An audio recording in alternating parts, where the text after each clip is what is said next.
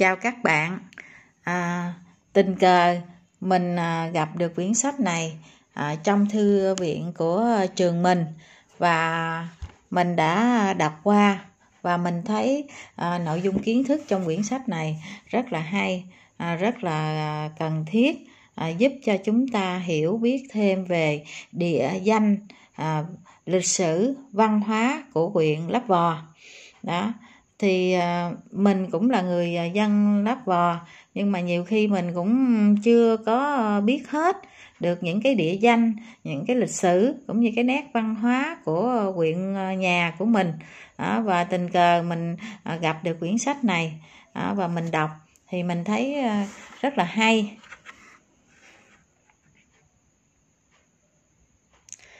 Nên là hôm nay mình xin giới thiệu à, quyển sách địa danh lịch sử văn hóa huyện Lấp Vò. À, xin mời các bạn à, cùng à, theo dõi à, với mình nha. À, quyển sách sẽ giúp cho các bạn hiểu thêm về rất là nhiều kiến thức à, bổ ích à, trong đời sống của chúng ta. Các bạn thân mến, thì à, sau đây mình xin giới thiệu quyển sách địa danh lịch sử văn hóa huyện Lấp Vò mời các bạn theo dõi nha. Thì à, hiện xe mình đang di chuyển trên quốc lộ 54 thì quốc lộ 54 bắt đầu từ ngã tư cầu Lạch Mắm thuộc xã Bình Thành. Và tiếp theo nữa đến là xã Định An, xã Định Yên. Vậy quốc lộ 54 đi qua địa phận huyện Lấp Vò qua ba xã Bình Thành, Định An và Định Yên thì à, cái cuốn sách địa danh lịch sử văn hóa huyện Lấp Vò à, có cái lời nói đầu như sau. Mình xin trích cái à, phần cuối thôi nhé. Và hiện xe mình đang trên địa phận của xã Định An. Nhằm khắc họa lại những dấu ấn của lịch sử các địa danh lịch sử văn hóa trong huyện để lưu truyền về sau nhất là các thế hệ sau này hiểu rõ được những ký ức, những giá trị vô giá mà ông cha đã thực hiện và để lại. Ban thường vụ huyện quỹ lắp Vò đã chỉ đạo các ngành liên quan tổ chức sưu tầm để biên soạn, biên tập những địa danh lịch sử, văn hóa mang tầm ảnh hưởng lớn đến quá trình phát triển kinh tế xã hội trong huyện để phục vụ cho việc nghiên cứu và học tập và trải nghiệm của các tầng lớp nhân dân dù đã cố gắng, nhưng do tài liệu thành văn lại ít, còn lại ít, chủ yếu là qua lời kể của các vị cao niên, tuổi cao sức yếu, trí nhớ có hạn, nên nội dung có chỗ chưa thật chính xác, không tránh khỏi những thiếu sót. Rất mong được các đồng chí, quý độc giả góp ý bổ sung, biên tập hoàn chỉnh khi tái bản.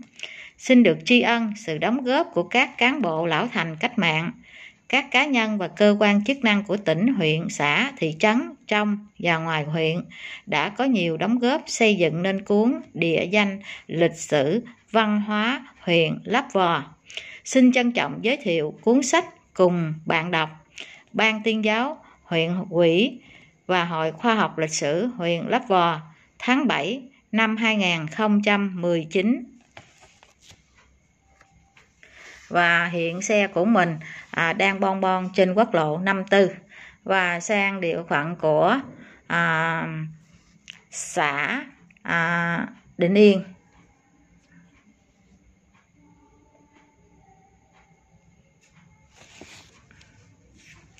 Và tiếp theo mình xin giới thiệu phần thứ nhất của quyển sách Tổng quan sơ lược về điều kiện tự nhiên và xã hội huyện Lấp Vò.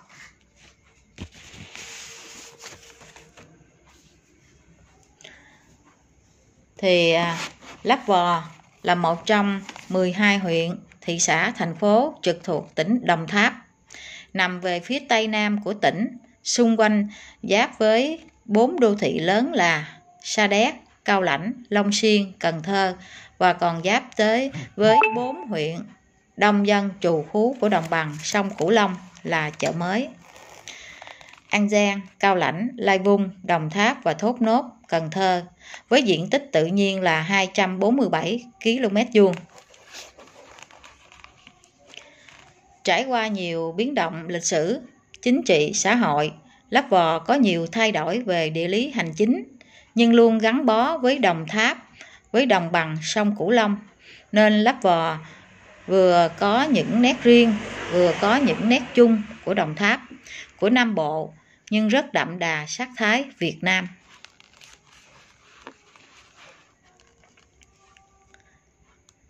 Lấp Vò với tên cũ là huyện Thạnh Hưng, một trong những huyện nằm ở phía nam sông Tiền thuộc tỉnh Đồng Tháp. Về hành chính, hiện nay huyện Lấp Vò có 13 xã, thị trấn gồm thị trấn Lấp Vò, xã Bình Thành, xã Định An, xã Định Yên, xã Bình Thành Trung, xã Hội An Đông, xã Mỹ An Hưng A, xã Mỹ An Hưng B, xã Tân Mỹ, xã Tân Khánh Trung, xã Long Hưng A, xã Long Hưng B, xã Vĩnh Thạnh với 66 khóm ấp. Huyện Lấp Vò là một trong bốn huyện thị thuộc khu vực phía nam của tỉnh Đồng Tháp, Lấp Vò, Lây Vung, Châu Thành và thành phố Sa Đéc. Huyện Lấp Vò có diện tích tự nhiên là 24.700,8 ha là tương đương với là 247 km vuông, chiếm 7,29% tổng diện tích tự nhiên của tỉnh. Dân số trung bình năm 2019 là 186 627 nhân khẩu. Tổng điều tra dân số và nhà ở năm 2019 Nam là 90.705 người, nữ là 89.922 người, mật độ dân số là 731 người trên 1 km vuông, chiếm 11,29% dân số của toàn tỉnh. Đó, thì mình vừa giới thiệu xong về cái tổng quan sơ lược về điều kiện tự nhiên và xã hội huyện Lấp Vò. Và tiếp tục là mình xin giới thiệu phần thứ hai là vị trí địa lý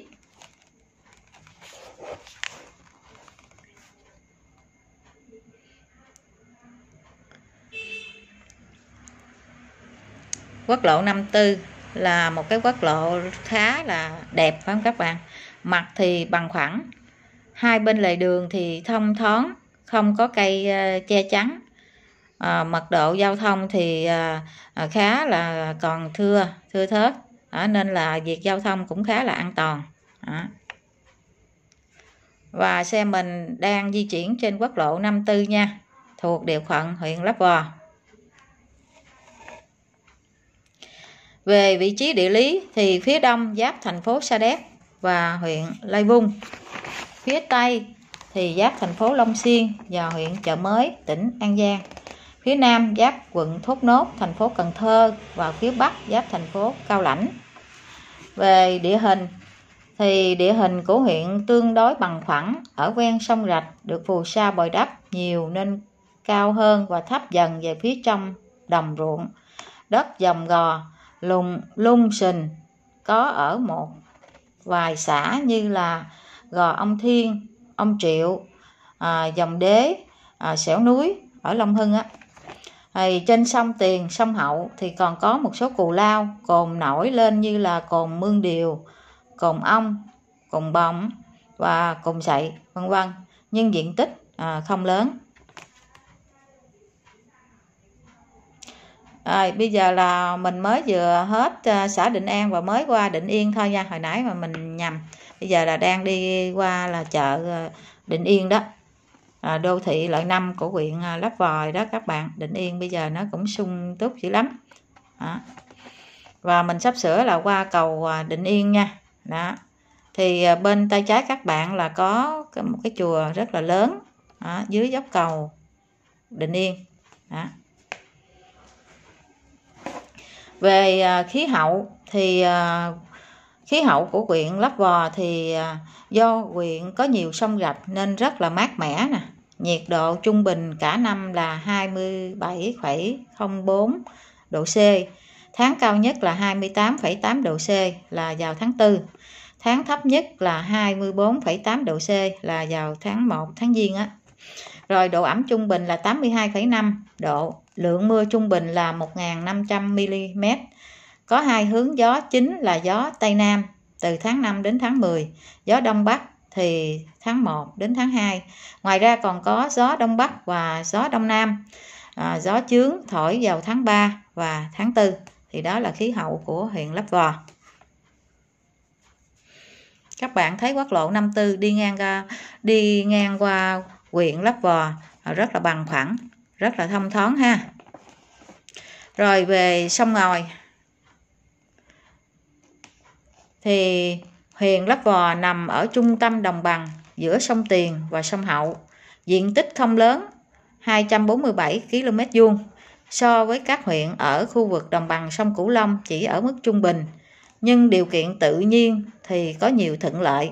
Tài nguyên đất đai thì phì nhiêu, sông rạch chằng chịt nguồn nước ngọt phù sa dồi dào mưa nắng thuận hòa giao thông thủy bộ thuận tiện rất thuận lợi cho việc phát triển kinh tế xã hội của địa phương phía đông của huyện có sông Tiền chảy qua bốn xã dài gần 20 km từ sông Hội An Đông, cái tàu thượng giáp ranh huyện chợ mới, An Giang xuống tới Mương Điều, Rạch Ruộng, giáp giáp ranh thị xã Sa Đéc. Phía Tây thì có sông Hậu chảy qua ba xã là Bình Thành, Định An, à, Định Yên.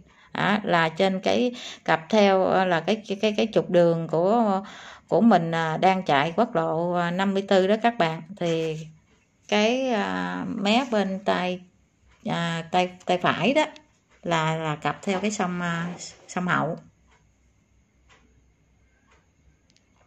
phía Bắc thì có sông Hội An Đông dài 9,5 km cũng là ranh giới với ờ, huyện chợ mới tỉnh An Giang. À, sách gia định thành co thông chí xưa ghi á là sông Hội An ở phía tây sông Tiền Giang cách huyện Vĩnh An 55 dặm. Miệng sông có cù lao tòng sơn cù lao ngọ và cù lao trinh làm ứng tinh hộ vệ ở ngoài khơi thổi vào ấy là một địa thế rất là tốt phía đông nam có sông sa đéc thông với sông cường thành ra sông hậu đây là con đường thủy chiến lược trải qua giữa huyện nối sông Tiền với sông Hậu để tàu thuyền từ Sài Gòn và miền Đông đi tắt xuống vùng đất và biển Tây Nam Việt Nam. Khỏi vòng qua bán đảo Cà Mau, thì à, sách Đại Nam Nhất Thống Chí xưa viết sông Cường Thành ở Đông Nam, huyện Đông Xuyên, Đông Xuyên, 137 dặm, bờ phía đông sông Hậu Giang rộng 6 trượng, sâu 18 thước, bờ phía nam có sông An Giang trải qua Đại Giang cách nửa dặm về phía nam. Bờ sông có cụ thủ sở Cường Thành cách 25 dặm đến ngã ba. Chi phía bắc thông với qua Giang hay là Trào Giang đó và Tiền Trường Giang rồi chảy ra Đại Giang. Chỉ phía đông 21 dặm đến ngã ba Bình Thành Tây, một ngã về phía bắc 15 dặm thông với sông Hội An Đông và Tiền Giang, một ngã chảy về phía đông ở thủ điểu Hội qua là thủ ô nước sấy đó. Rồi chảy ra sông Sa Đéc, lại thông với sông Tiền Giang, quanh quẹo 13 dặm hai bên toàn là ruộng vườn của nhân dân. Đó. Thì đó là theo sách của Đại Nam Thống Nhất Chí Lục Tỉnh Nam Việt Nam quyển hạ trang 59 thì thời xưa đường thủy là chính. Muốn đi từ sông Đông sang Tây từ sông Tiền qua sông Hậu từ vùng Sa Đéc Vĩnh An qua Đông Xuyên. Cảng Đạo là Long Xuyên bây giờ đó. Chắc hẳn là phải qua sông Sa Đéc Cường Thành. Nằm ở giao điểm Đông Tây Bắc Nam Bắc.